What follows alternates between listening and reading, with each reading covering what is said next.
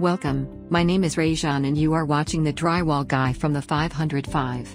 This segment is turning your wood paneled walls into smooth wall part 12, let's get started.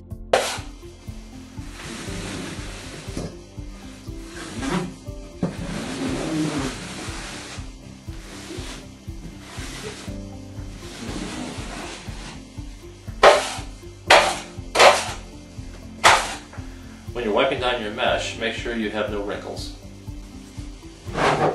Now you're ready to mesh over the top of the fiber tape.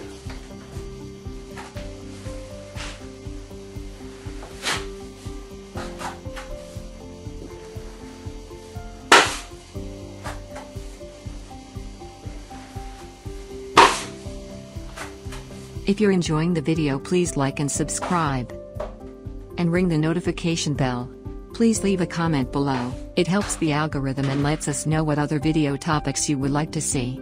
Thank you.